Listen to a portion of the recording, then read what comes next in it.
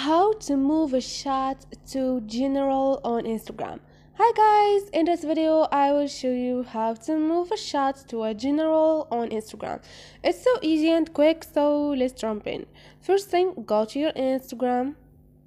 Now uh, click on the paper plane beside the heart icon up there.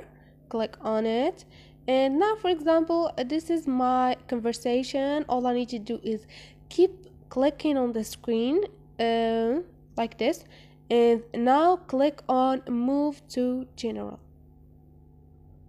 And this conversation have moved to general.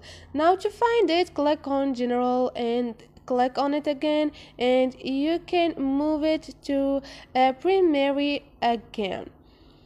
So this is it and this is it guys. Hope this video was easy for you and uh, was uh, helpful. And if you like the video don't forget to subscribe and like